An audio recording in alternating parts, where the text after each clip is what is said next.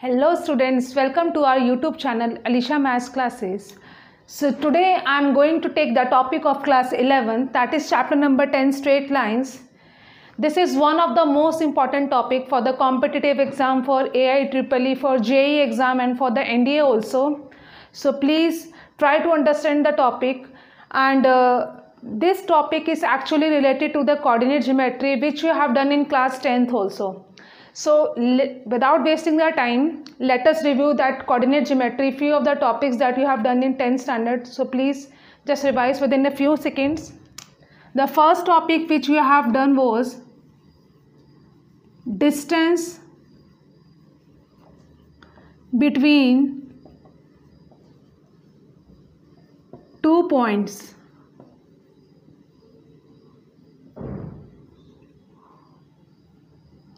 distance between two points. All of you know that we are having the Cartesian plane. In the Cartesian plane, this is a Cartesian plane. This is your x-axis. This is your y-axis.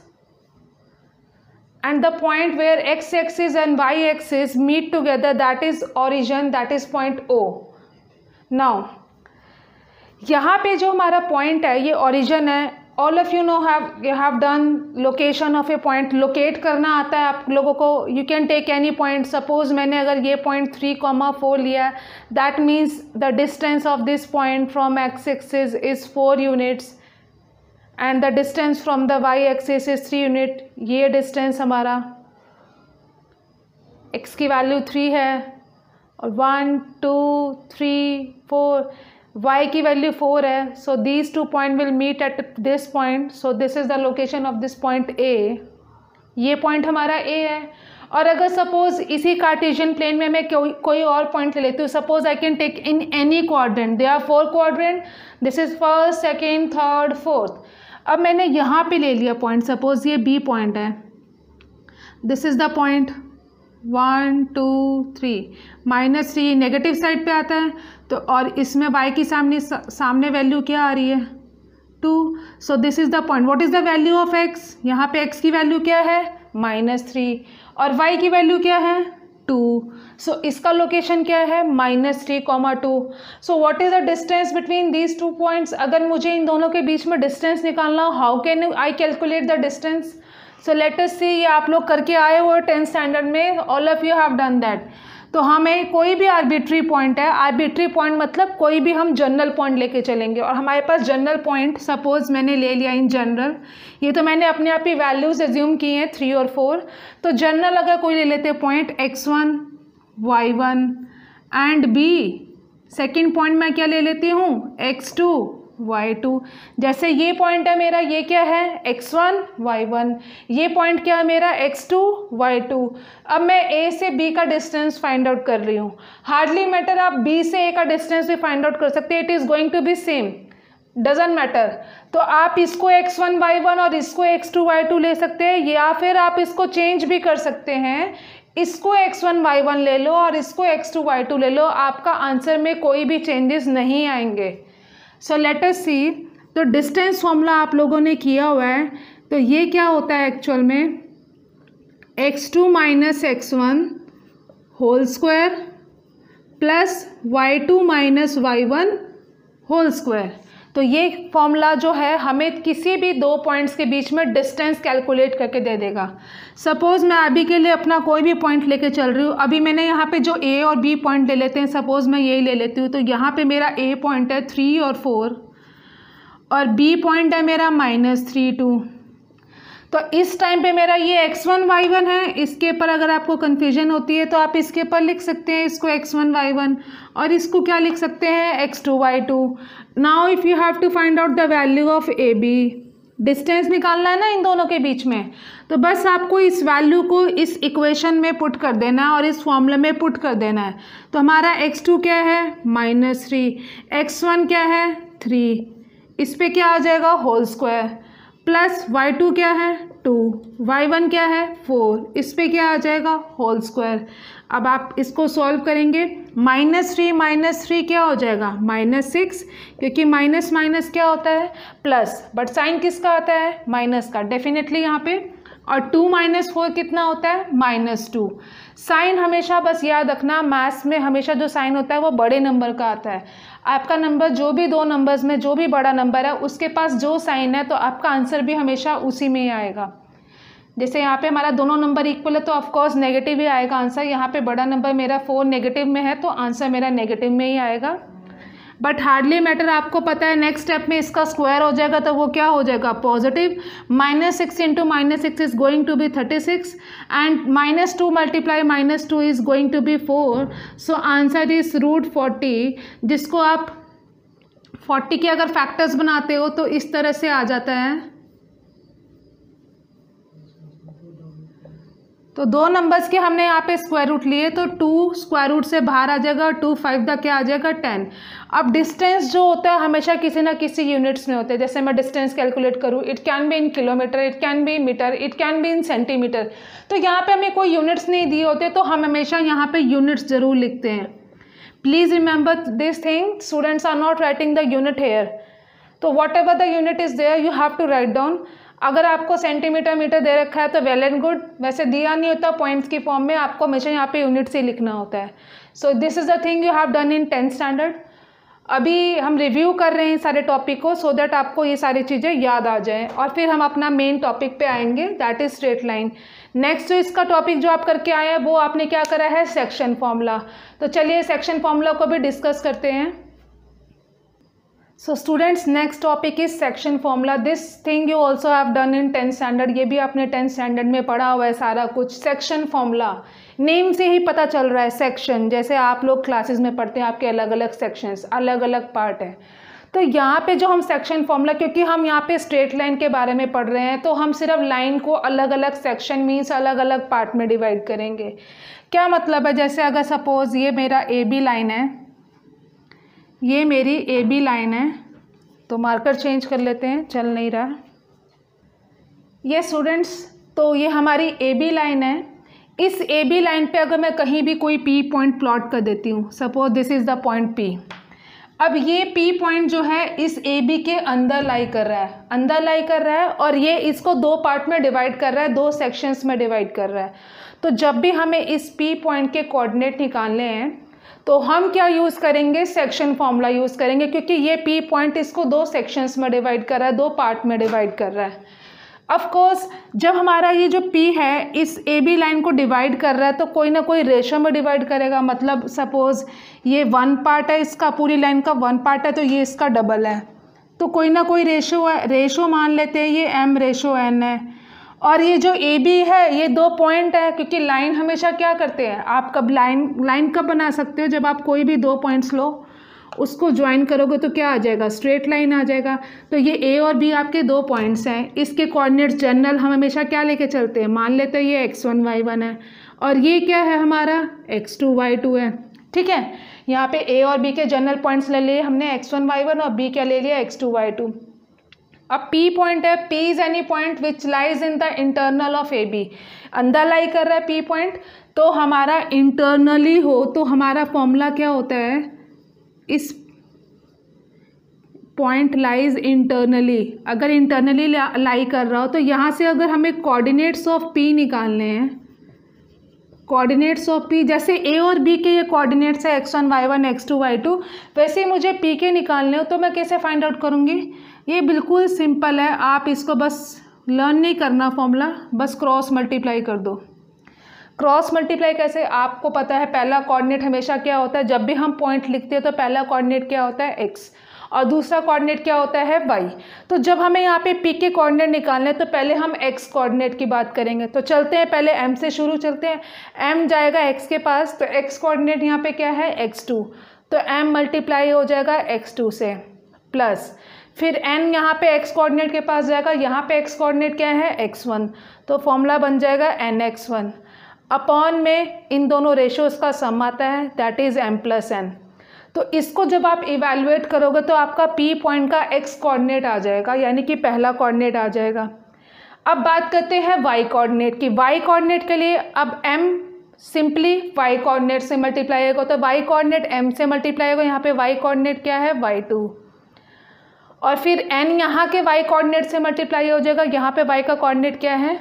Y one upon M plus N तो ये बिल्कुल ही simple formula you don't need to learn anything you can just understand this thing that everything is going to be in cross multiplication यहाँ पे आपने अगर कोई दो point दे रखा है, मैं एक एग्जांपल लेके बताती हूँ, आपको बहुत अच्छे से समझ आ जाएगा।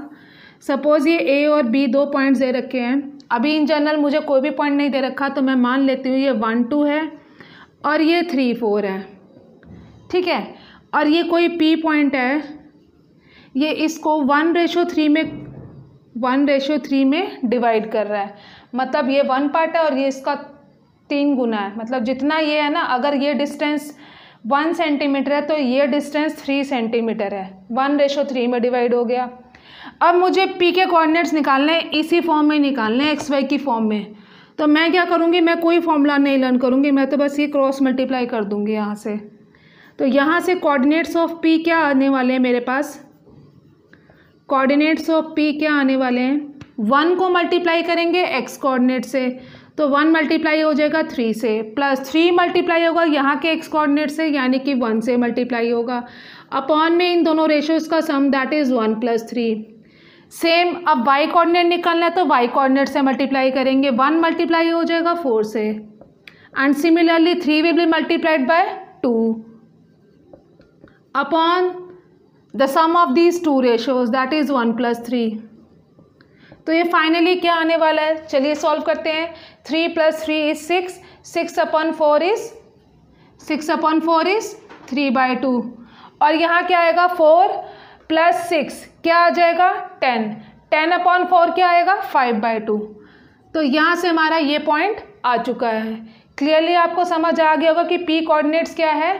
Three by two comma five by two तो इस तरह से आप सेक्शन फॉर्मूले से किसी भी पॉइंट के कोऑर्डिनेट फाइंड आउट कर सकते हो अगर आपको यहाँ पे रेशो दे रखी है। तो देखते हैं आगे। Yes yes. तो नेक्स्ट है, हम इसी का ही सेकेंड पार्ट पढ़ रहे हैं सेक्शन फॉर्मूला अभी हमने पढ़ा when P points internally internally means when P point lies between A and B now there is also the second point when P point lies externally जब पी पॉइंट ए बी के बाहर लाई करेगा, यहाँ पे अंदर नहीं लाई करेगा ए B के बिटवीन नहीं लाई करेगा it will lie outside A B So what will be the formula, what will be the section formula to find out the coordinates of point P here? यहाँ पे हम कैसे निकालेंगे P coordinate? अगर P A B के बीच में ना लाई करे बल्कि इसके इनफैक्ट कहीं बाहर लाई करे तो डेफिनेटली यहाँ पे भी हम मान के चलेंगे कि यहाँ पे रेशो एम रेशो एन है तो फॉर्मूले में कुछ भी डिफरेंस नहीं है।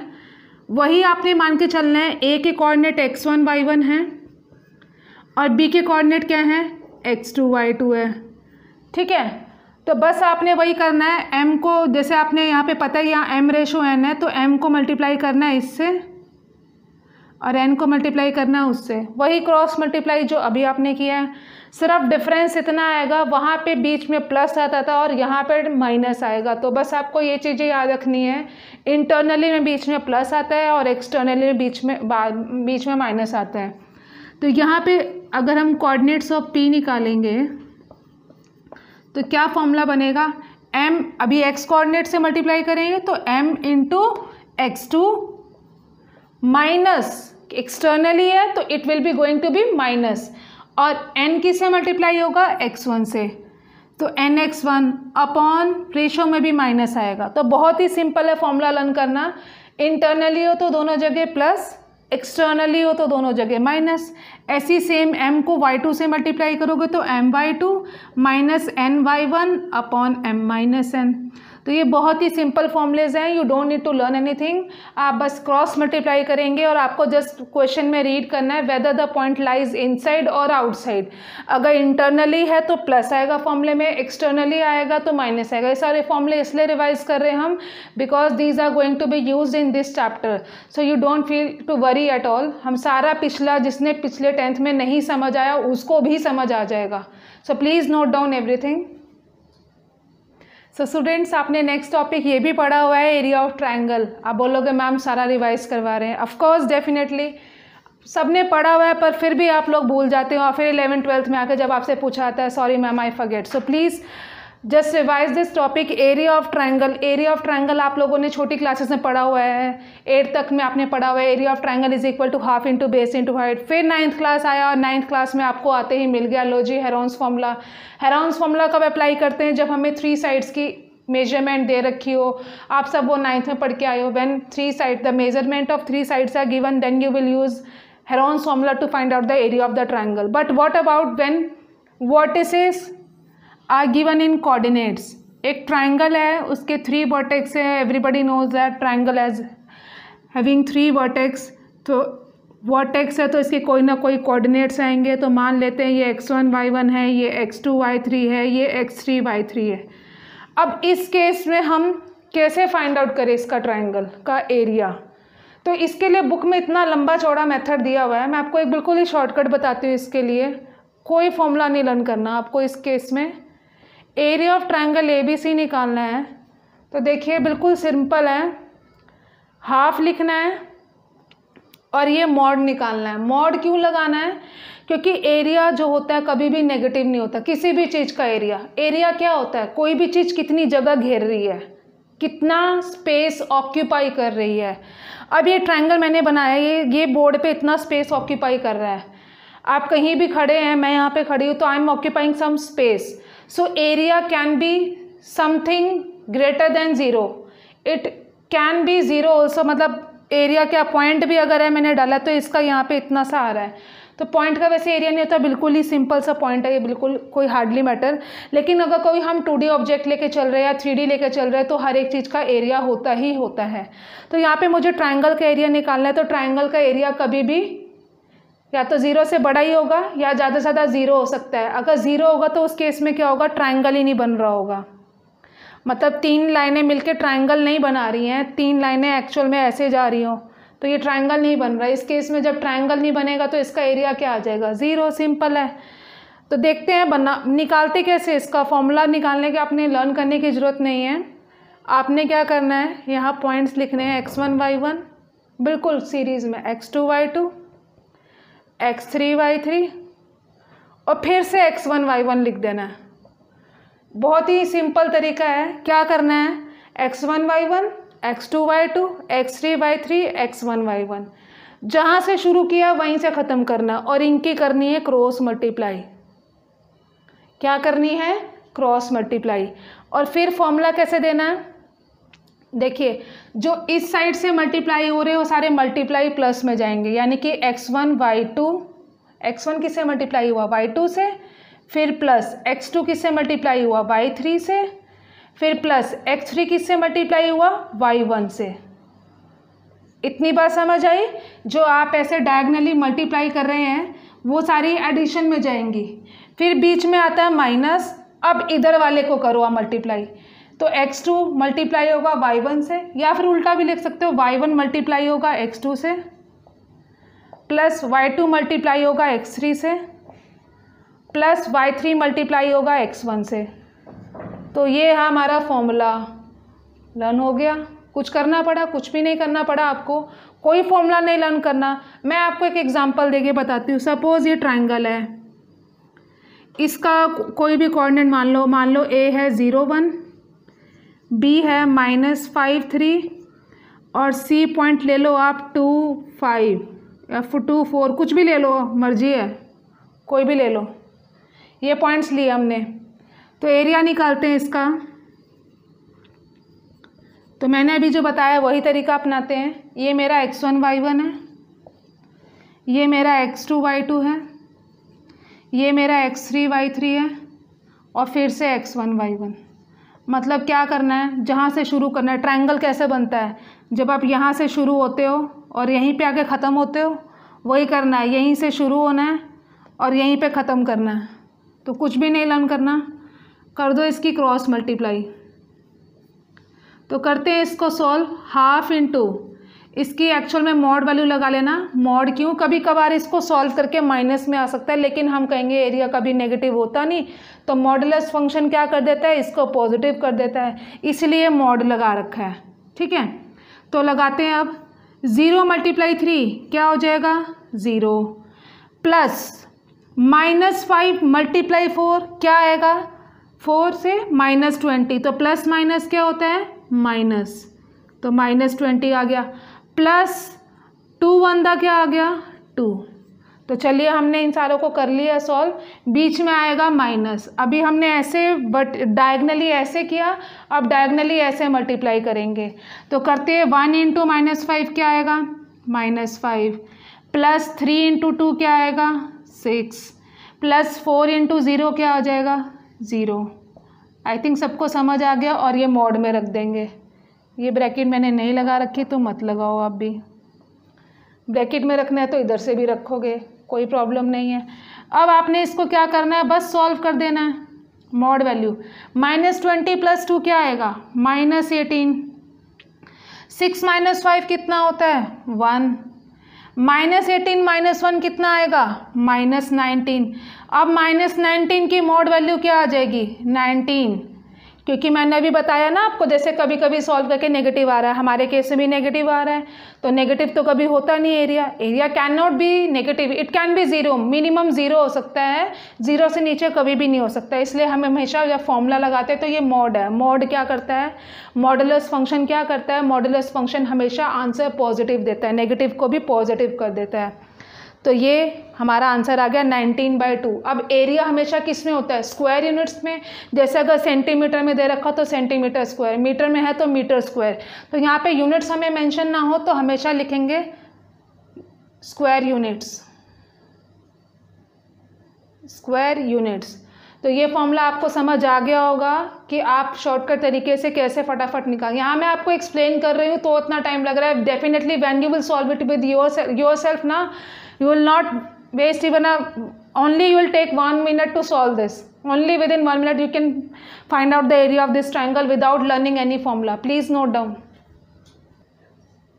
so students here we have discussed all the topics related to chapter number 10 oh sorry class 10th अभी हम अपने मेन टॉपिक पे आते हैं सारा कुछ रिवाइज कर चुके हैं आप कोऑर्डिनेट ज्योमेट्री के मेन मेन टॉपिक्स रिवाइज कर चुके हो so now without wasting time move on to the main topic of the straight lines class eleventh इसमें जो आपका फ़र्स्ट टॉपिक है that is slope of a line slope of a line slope of a line क्या meaning होता है slope का?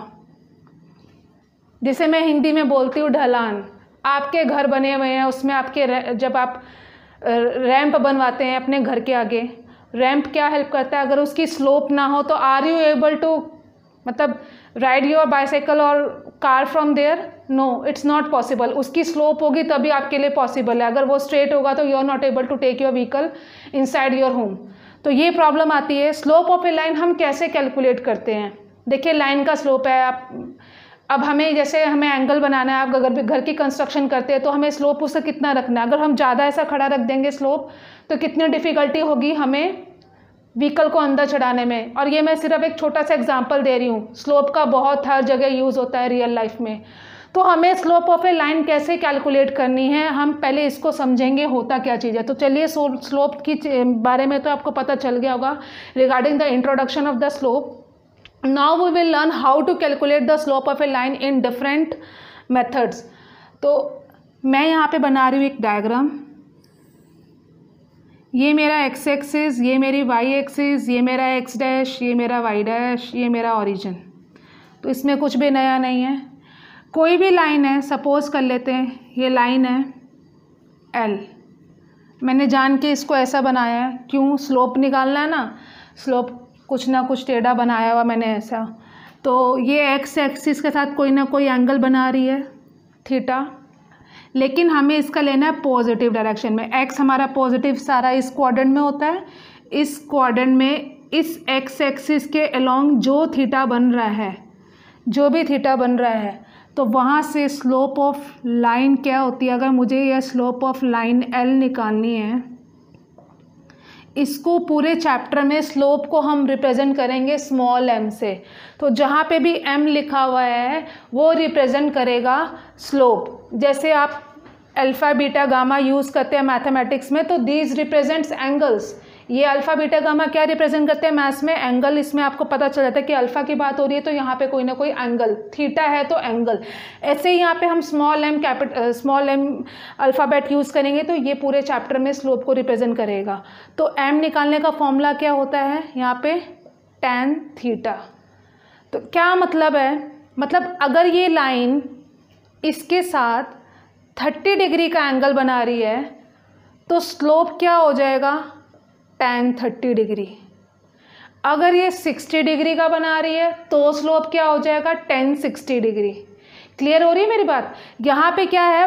Whatever the angle that the line is making in the positive direction of x axis x axis की positive direction में आप angle नीचे से भी ऐसे मेजर कर सकते हो।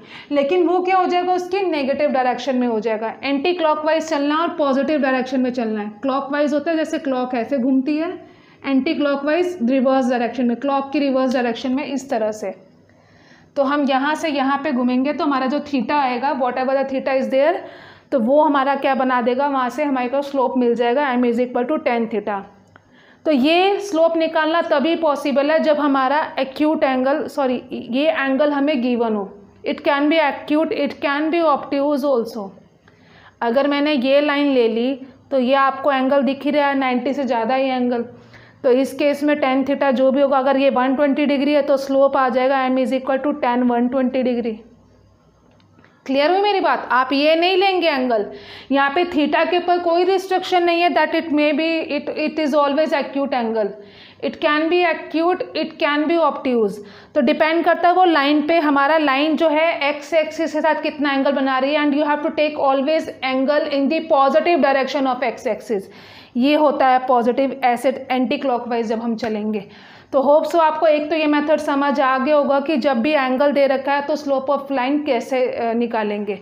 अभी हम नेक्स्ट पढ़ेंगे स्लोप ऑफ़ लाइन जब हमें दो पॉइंट्स दे रखा हो। तो please note down so students हम now will be learn how to find out the slope of a line passing through two points जब लाइन जो है, वो एंगल ना दे रखा हो हमें when angle that uh, line is making with the positive direction of x-axis is not given but two points are given from which line is passing. दो पॉइंट गिवन है जहाँ से लाइन पास कर रही है तब हमारे पास स्लोप ऑफ़ लाइन निकालने का क्या मेथड है? तो स्लोप ऑफ़ लाइन निकालने का मेथड है स्लोप ऑफ़ लाइन मैं बार बार नहीं लिख रही हूँ यहाँ पे एम लिख रही हूँ तो it is understood to you कि एम इज़ है slope of a line so यहाँ पे दो पॉइंट दे रखे हैं सपोज़ मैं एक के कोऑर्डिनेट मान लेती हूँ एक्स वन वाई वन और बी के कोऑर्डिनेट है एक्स टू वाई टू तो यहाँ से स्लोप ऑफ़ लाइन कैसे निकलेगी? पहले हम वाई कोऑर्डिनेट को वाई कोऑर्डिनेट से माइनस करेंगे y two minus y one upon x two minus x one actually इसकी डेरिवेशन है तो डेरिवेशन समझ लेते हैं एक बार. डेरिवेशन आपको पता चल जाएगा कि फॉर्मूला एक्चुअल में बना कैसे. तो देखते हैं, मैं इसके लिए यहाँ पे थोड़ा सा ऐसे डॉटेड में ज्वाइन कर रही हूँ। और ये मैंने ऐसे बना दिया। इसको मैंने पी पॉइंट ले लिया। ध्यान समझना, मैंने इसको क्या करा? पी पॉइंट ले लिया। अब एक बात सोचिए, मैं मान लेती हूँ, क्योंकि यहाँ पे हमारा क्या है? हमें भी, मैंने आपको बताया कि स्लोप निकालने के लिए मुझे एंगल पता होना चाहिए। मुझे एंगल नहीं पता तो मैं क्या ले लूँगी? एम इज़ इक्वल टू क्या होगा? टेन थीटा कोई ना कोई एंगल तो मुझे सपोज़ करना पड़ेगा। अगर ये थीटा है तो डेफिनेटली ये भी थीटा होगा। कैसे एंगल्स हैं? ये कॉरेस्पॉन्डिंग एंगल्स हैं। तो कॉरेस्पॉन्डिंग एंगल्स इक्वल होते हैं, ये दोनों लाइन पैलर हैं। ये थीटा है तो ये भी क्या हो जाएगा? थीटा अभी देखते जाइए, मैं ये प्रूफ कर दूँगी कि जनरली बच्चों को पता ही नहीं होता ये फॉर्मूला आया कैसे है। उन्होंने बस लर्न किया होता है। तो आपको अब समझ आ जाएगा ये फॉर्मूला बना कैसे है। ये थीटा है तो ये भी हमारा थीटा होगा। अभी हम इस ट्राइंगल पे बात करें in triangle A B P मुझे पता है यहाँ पे मेरा स्लोप जो है स्लोप ऑफ़ लाइन होता है टेन थीटा अगर मैं यहाँ से टेन थीटा की वैल्यू निकालूँ निकालूँ तो टेंथ क्लास में आपने एप्लीकेशन ऑफ़ ट्रिग्नोमेट्री की हुई है? एप्लीकेशन ऑफ़ पंडित बद्री प्रसाद हर हर बोले, सबने पढ़ा हुआ है? Sine cos tan cosecant secant cotangent तो टेन की फैमिली टेन की वैल्यू किसके इक्वल होती है? पी अपॉन बी के इक्वल यानी कि परपेंडिकुलर अपॉन बेस तो परपेंडिकुलर कौन सा है इस केस में? बीपी बीपी क्या है? परपेंडिकुलर परपेंडिकुलर क्या होता है? जो 90 डिग्री का एंगल बनाती है. ये 90 डिग्री का एंगल बना रही है. और बेस कौन सा होता है? जिस पे 90 डिग्री और एक्यूट एंगल गिवन है, वो हमारा बेस होता है. तो बेस इस ट्राइंगल का बेस क्या है? एपी इतना सबको पता ही है, टेंथ क्लास में पढ़ के आयो तो देखते हैं, यहाँ पे बीपी की वैल्यू क्या है? बीपी क्या है? अगर मैं यहाँ पे इसको पॉइंट ले लूँ पी ले लिया है, इसको मान लो डी और ये ई e है। ये जो बी पी है, वो एक्चुअल में क्या है? अगर मैं पूरा बी e में से पी ई माइनस कर दूँ, ध्यान समझना बी ई में से पी ई माइनस कर दूँ तो इतना बचेगा ना? ऑब्वियस ही बात है। तो बी पी किसके इक्वल है?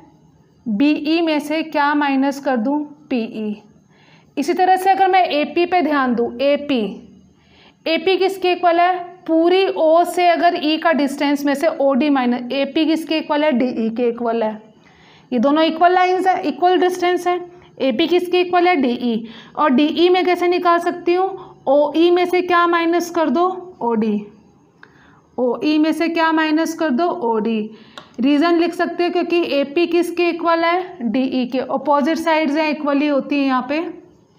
इतना सबको समझ आ गया होगा। मैंने क्या किया हुआ, ये डिस्टेंस निकालना है तो इस पूरे में से इतना माइनस कर दिया, ये बचा हुआ रिमेनिंग इतना ही आएगा। सेम ये डिस्टेंस निकालना है तो एक्स एक्सिस के लॉन्ग ये एक्स एक्सिस के पहले है तो एक्स एक्सिस के लॉन्ग डिस्टेंस लेंगे, ये डिस्टेंस माइनस ये डिस्टेंस अब बस अब आपने सोचना ये है क्या? तो बी ई बी ई पर ध्यान दे, ये मेरा बी ई ये है। ये डिस्टेंस कितना है? ये डिस्टेंस वाई एक्सिस आ रहा है। वाई एक्सिस के लॉन्ग आ रहा है तो वाई एक्सिस का डिस्टेंस यहाँ पे कितना है? वाई टू है। और पी ई क्या है? पी ई ये इसके सामने देखिए। यहाँ पे मेरा एक्स कोऑर्डिनेट क्या है? एक्स टू है। और वाई कोऑर्डिनेट क्या है? वाई वन है। ठीक है ना? देखिए मेरे सामने, इस, इसके सामने जो एक्स डिस्टेंस है, वो एक्स टू है। और इसके सामने वाई डिस्टेंस कितना है? वाई ये वाई वन है, ये वाई टू है, ये मेरा एक्स वन है, ये मेरा एक्स टू है। तो देख सकते हैं पी के सामने एक्स की वैल्यू है एक्स टू वाई की वैल्यू है वाई वन तो पी का कोऑर्डिनेट है एक्स टू कॉमा वाई तो अगर मुझे यहाँ से बी ई e निकालना है तो मैं बी ई e के लिए क्या करूँगी? बी ई डिस्टेंस मेरा कितना है? वाई टू और पी ई e कितना मेरा वाई वन इस तरह से ओ ई देखिए ओ ई ओ ई डिस्टेंस पूरा कितना है? एक्स टू है। और ओ डी कितना है? ये यहाँ से लेकर ज़ीरो से लेकर एक्स वन का डिस्टेंस एक्स वन है। तो यही तो है फॉर्मूला अपने एम क्या लिया होता है? टेन थीटा लिया होता है और टेन थीटा की वैल्यू यहाँ से क्या आई है? Y two minus y one upon x two minus x one तो बहुत सिंपल सी डेरिवेशन है ये। आप लोगों को समझ आ गया होगा। Please note down so students now will will study about condition for parallelism of two lines देखिए आपका पूरा चैप्टर जो है वो स्लोप ऑफ़ लाइन पे डिपेंड करता है या इक्वेशन ऑफ़ लाइन पे डिपेंड करता है या फिर आपकी कुछ कंडीशंस हैं कि दो लाइन पैलर होगा तो क्या होगा? और अगर दो लाइन परपेंडिकुलर होंगी तो क्या होगा? परपेंडिकुलर का केस अभी हम डिस्कस करते हैं। So first of all let us discuss the case of a parallel lines what do mean by parallel line parallel lines क्या होती हैं? Which will never meet each other जो कभी आपस में मिलती। जैसे रेलवे ट्रैक रेलवे ट्रैक देखा वो आपने। उसमें जो दोनों की जो बाउंड्रीज होती है, दोनों बाउंड्रीज ऑल वो मीट करती हैं किसी पॉइंट पे जब हमने टर्न करना हो but I am just giving the example two lines are set to be parallel which they which will never meet each other when they will extended इसको जितना मर्ज़ी एक्सटेंड कर लो, आगे कभी भी मीट नहीं करें। जैसे मेरा बोर्ड है, ये दो, इसकी पैरल लाइन्स है। तो ये मेरी दो पैरल लाइन्स है। अब इस पर क्या कंडीशन आ सकती है, वो चेक कर रहे हैं हम। आपको पता है, अगर ये कोई ना कोई लाइन है तो कोई ना कोई एंगल तो बनाएगी। अगर मैं इसकी स्लोप के रिगार्डिंग बात करूँ तो मान लेती हूँ ये मेरी दो लाइन्स है, ये एल वन और एल टू दोनों पैरलर हैं। तो ये कोई ना कोई एंगल बना रही है। सपोज़ कर लेती हूँ इसका थीटा वन है और इसका क्या है? थीटा टू है। क्लियर है? अब आपको पता है कि ये दो पैरलर लाइन्स है। अगर मैं वैसे सोचूं तो दोनों का स्लोप क्या हो जाएगा? Slope of line L slope of line L one पहले का अगर मैं बात करूँ, इसका थीटा वन ले लो, ताकि दोनों सिमिट्रिक हो जाए, और उसका थीटा टू ले लो। तो इसका स्लोप अभी मैंने पढ़ाया स्लोप क्या होता है? अगर एक्यूट एंग अगर कोई सॉरी एंगल दे रखा हो एक्स एक्सिस के साथ स्लोप होता है टेन थीटा तो थीटा यहाँ पे थीटा वन है तो इसका स्लोप क्या हो जाएगा? टेन थीटा वन इसी तरह से एल टू का क्या हो जाएगा? टेन थीटा टू बट अगर हम ध्यान से देखें तो ये दोनों पैरेलल लाइंस हैं। और ये एक ट्रांस एक्स एक्सिस जो है, एक तरह से ट्रांसवर्सल का काम कर रही है। तो आप सबको पता है, दो पैरेलल लाइंस को जब एक ट्रांसवर्सल कट करता है तो ये जो सेम साइड पे एंगल बनते हैं, वो कॉरेस्पॉन्डिंग एंगल्स होते हैं। और कॉरेस्पॉन्डिंग एंगल्स हमेशा क्या होते हैं? इक्वली तो होते हैं। ये दोनों अगर पैरेलल लाइन्स है और ये एक ट्रांसवर्सल है ट्रांसवर्सल क्या होती है? ऐसी लाइन जो दो लाइनों को काट के जा रही हो। तो ये ये जो दोनों हमारे एंगल है, ये भी नीचे बन रहा है, ये भी ट्रांस लाइन की नीचे वाली साइड बन रहा है, ये भी लाइन की नीचे वाली साइड बन रहा है। और दोनों सेम साइड पे बन रहे हैं। ऐसा नहीं कि एक किस तरफ़ है तो एक किस तरफ़ है।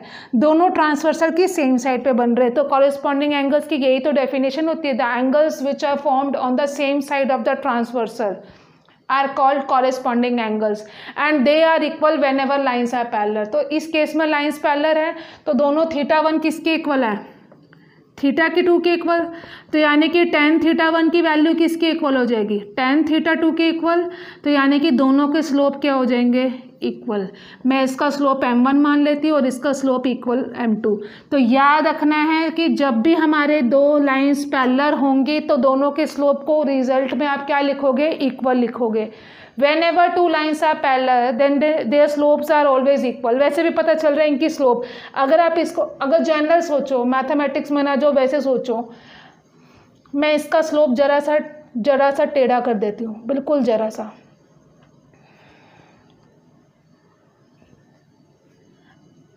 स्लोप मैंने क्या करा? थोड़ा सा चेंज कर दिया। अभी स्लोप नहीं है इक्वल तो क्या ये अब आपके पैरेलल लाइंस हैं? है ही नहीं है। पैरेलल लाइंस के लिए दोनों का स्लोप इक्वल ही होना पड़ेगा, क्योंकि ये कहीं ना कहीं आगे एक्सटेंड करोगे, एक ना एक पॉइंट पे जाके मीट कर जाएँगी। तो ये पैरेलल लाइंस नहीं है।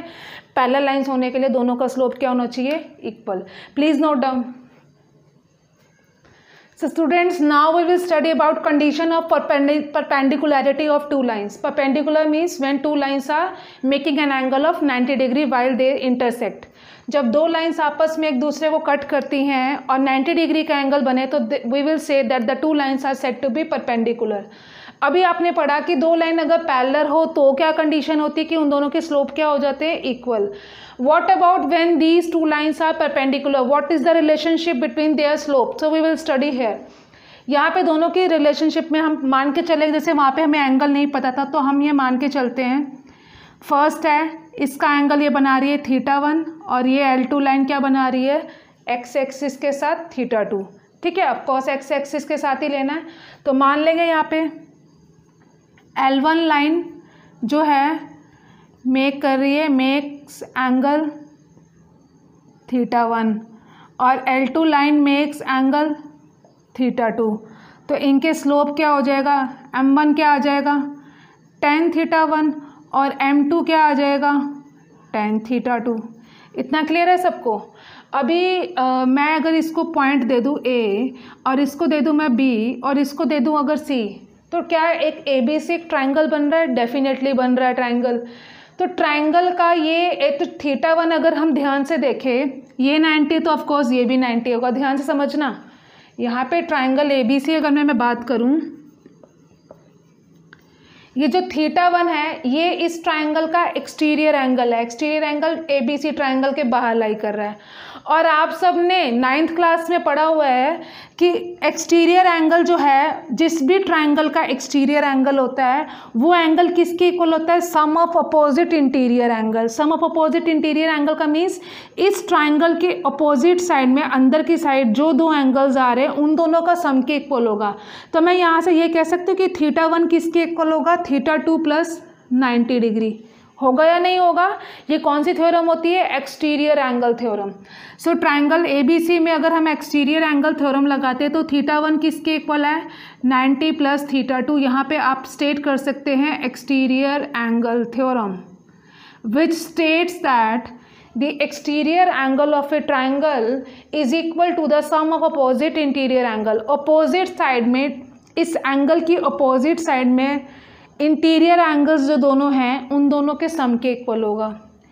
अब हम दोनों पे टेन अप्लाई कर देते हैं टेंजेंट अप्लाई कर देते हैं। तो tangent of theta one is equal to tangent of ninety plus theta two अब सबने आपने इसी क्लास का थर्ड चैप्टर का कॉन्सेप्ट यूज़ करना है। Tan ninety degree plus theta tan ninety degree plus theta आपको पता है कौन से क्वाड्रेंट में जाने वाला है। नाइन्टी में कुछ भी प्लस होगा तो वो आपका कौन से क्वाड्रेंट में जाएगा? सेकेंड क्वाड्रेंट में। ये हमारा फ़र्स्ट होता है, ये सेकेंड होता है, ये थर्ड होता है और ये फोर्थ क्वाड्रेंट होता है। नाइन्टी पे टेन क्या होता है? चेंज होता है। टेन किसमें चेंज होता है? कॉट में चेंज होता है। ये सारा कुछ आप थर्ड चैप्टर में पढ़ के आए हुए हैं। टेन नाइन्टी पे टेन चेंज होता है कॉट में। ऐसे ही साइन चेंज होता है कॉज में और कॉस चेंज होता है सिक कॉसिकेंट में। इस तरह से चेंज होते हैं एक एक दूसरे में। साइन होता है कॉज में सिकेंट और कॉसिकेंट चेंज होते हैं और टेंजेंट और कोटेंजेंट होते हैं। तो यहाँ पे देखिए टेन नाइन्टी प्लस थीटा बस आपने ये बोला लगाना rule after school to college आपको पता है ये स्कूल है, यहाँ पे साइन और कॉसिकेंट पॉजिटिव रहते हैं। बाकी सारे क्या होते हैं नेगेटिव तो हमारा तो ये टेंजेंट है, यानी कि सेकेंड क्वाड्रेंट में नेगेटिव होगा। तो ये क्या आ जाएगा? माइनस।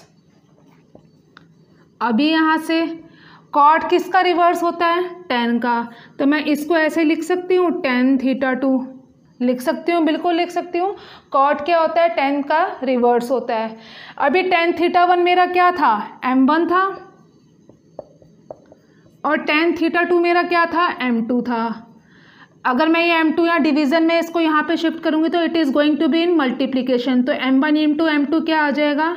माइनस वन तो यहाँ से हमें पता चल जाता है whenever two lines are perpendicular then the product of their slope is always equal to minus one उन दोनों के स्लोप का प्रोडक्ट हमेशा माइनस वन होगा। जब आप उन दोनों के स्लोप को मल्टीप्लाई करोगे ना तो आपको हमेशा ही माइनस वन मिलेगा।